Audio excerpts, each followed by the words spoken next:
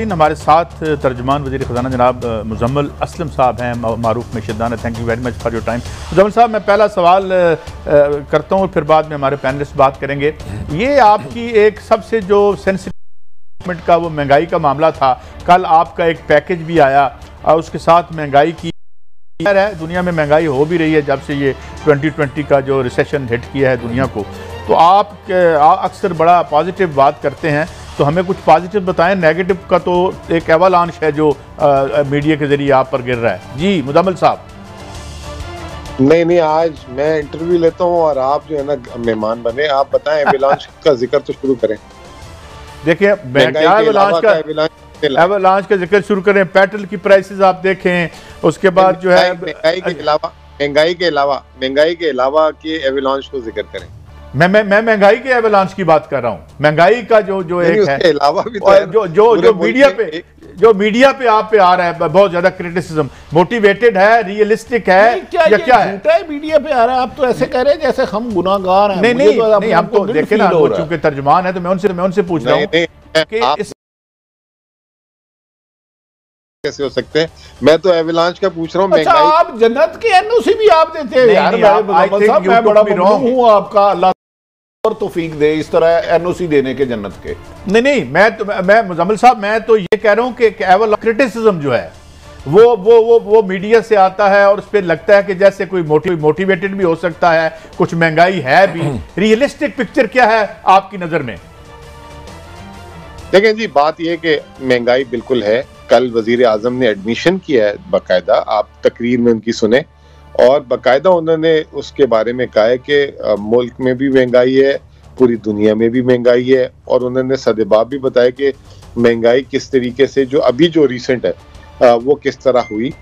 और उसी के नतीजे में, उसी एहसास को सामने रखते हुए एहसास राशन जो है, हुकूमत ने किया। अब देखें उसकी कदर वो जानता है जिसके लिए जो है एक एक रुपया कीमती है। जैसे पाँच रुपये लीटर पेट्रोल भरता है तो आप कहते हैं, पाँच रुपये बढ़ गया, पाँच रुपये बढ़ गया।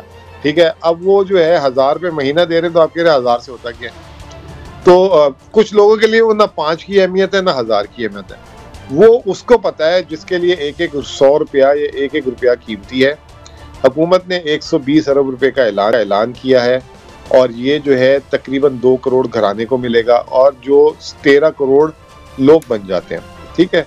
और इसके अलावा जो है सबसे जो अच्छी पॉजिटिव की आपने कहा बातें बताएँ तो मैं पॉजिटिव की आपको बात बताता हूँ। अभी थोड़ी देर पहले ही मैंने कुछ लिस्ट बनाई थी और एक आध जगह ज़िक्र किया। आपके सामने ज़िक्र कर देता हूँ। देखिए, एक तरफ़ महँगाई है और एक तरफ़ मीशत है, यानी कि जीडीपी है ग्रोथ है।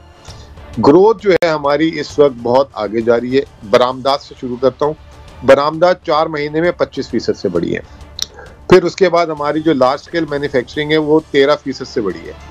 फिर कॉटन जो है, वो इक्यासी फ़ीसद से उसकी सिर्फ़ क्रॉप का साइज़ बढ़ा है, जो कीमतें मिल रही है, वो अलग है। फिर उसके अलावा जो कारोबार, जो स्टॉक एक्सचेंज में कंपनी है, उनके मुनाफे इक्कीस फ़ीसद से चार महीने में बढ़े जिसमें टेक्सटाइल का मुनाफा एक परसेंट से ऑटो इंडस्ट्री का एक सौ इकतीस सीमेंट का एक सौ तेरह फ़ीसद से पेपर एंड बोर्ड का सिक्सटी सेवन परसेंट से। फिर ये सारी चीज़ों का मजमू इसको डबल चेक करना हो कि टैक्सेस में क्या हो रहा है। टैक्सेस में सैंतीस फ़ीसद इजाफा हो गया। चार महीने में जो पिछले साल से 500 अरब रुपए ज़्यादा है। अभी आप कह देंगे जी वो तो दरामदी बिल बढ़ गया इस वजह से हो गया। वो भी बिल्कुल ठीक है लेकिन उसके अलावा इनकम टैक्स में बत्तीस फ़ीसद का इजाफा है। पिछले साल से डेढ़ सौ अरब रुपए ज़्यादा है वो।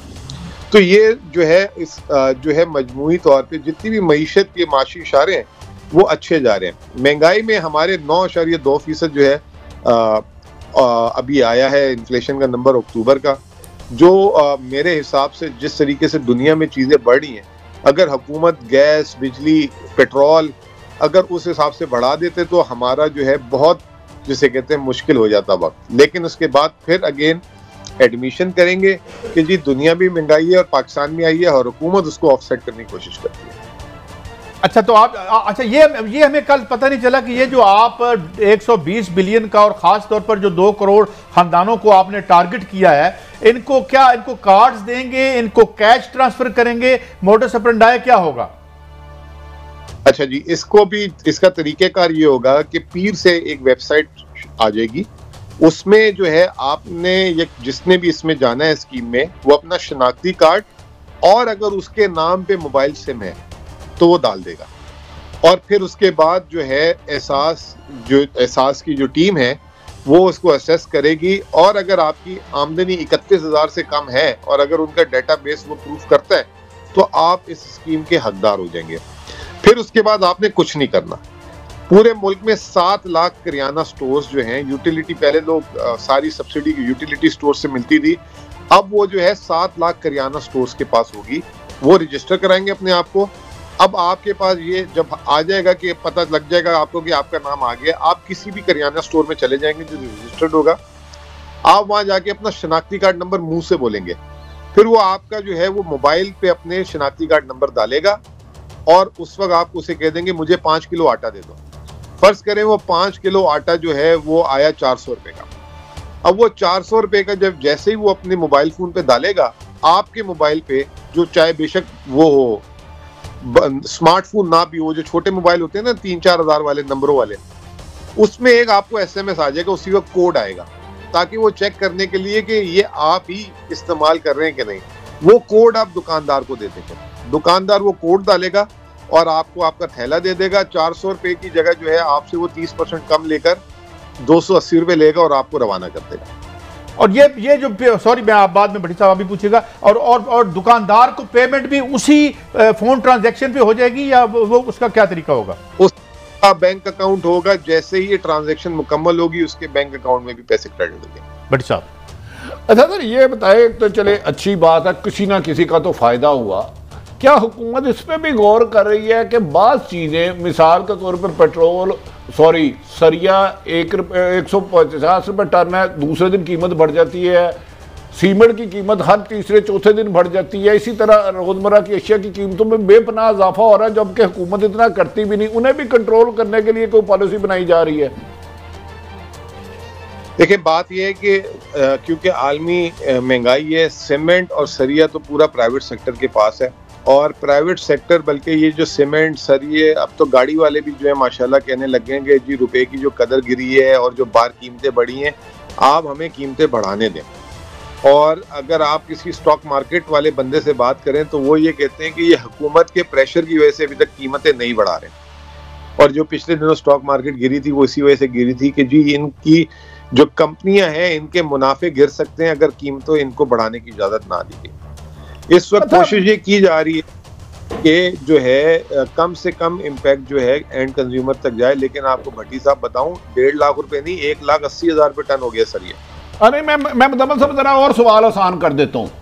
देखिए इसमें एक अच्छा आप काम मेरा सिर्फ़ मौकफ ये है कि देखिए जो हाउसिंग सोसाइटियाँ बना रहे हैं चार चार कनाल के घर बना रहे हैं उन्हें तो सीमेंट 200 क्या पाँच सौ रुपये कीमत भी बढ़ जाए हज़ार रुपये भी बढ़ जाए फ़र्क नहीं पड़ता। जो दो तीन मरले का बनाता है उसने कमेटी डाली होती है तो उनसे उधार लिया होता है। क्या इसमें भी हुकूमत गौर करेगी कि इन चीज़ों की कीमतें बेपना ना बढ़े, इजाफा बिला बजा ना बढ़े? देखें हुकूमत ने इस वक्त कोशिश कर रही है कि आपको याद है, पिछले साल जब कोरोना में हम फंसे हुए थे तो हुकूमत ने एक पैकेज दिया था कंस्ट्रक्शन का, जिसमें सीमेंट की बोरी पे एक्साइज ड्यूटी जो है, कम कर दी थी और उनके टैक्स को कम कर दिया था। ये उस वक्त उनको साल पहले दे दिया था। आज उसके नतीजे में ये सारी इंडस्ट्रीज़ जो है ना फुल डिमांड पे चल रही हैं। लेकिन आपकी बात सही है कि जो अपना पंद्रह बीस लाख रुपए की जो अपने घर की तामीर कर रहा है, वो अब बीस लाख की जगह चौबीस पच्चीस लाख पे बात चली गई है। और आपको बताऊँ, हम तो तेल को रोते पीटते हैं, पूरी दुनिया में जो सीमेंट और ये जो कंस्ट्रक्शन इंडस्ट्री के मटेरियल की कीमतें ना, उससे कई गुना ज़्यादा बढ़ गई हैं। वो प्लम्बिंग का चाहे सामान हो, चाहे जो इलेक्ट्रिक की तार हो सीमेंट सरिया तो जो है ना एक मकान का जो है चौथा हिस्सा होता है।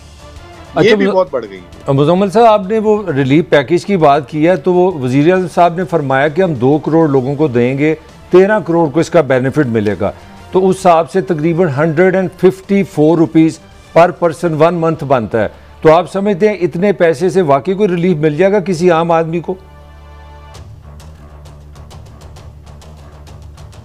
अगर आप तेरह करोड़ लोगों को रिलीफ देने जा रहे हैं तो जितना पैसा है हंड्रेड ट्वेंटी बिलियन तो वो इतने पैसे बनते हैं per per person one month one fifty four rupees आवाज़ मुजमल साहब आप मुझे सुन पा रहे हैं। हमने रबता दोबारा जरा हम कॉल करेंगे उनके, उनके हो गया लेकिन उसमें यह है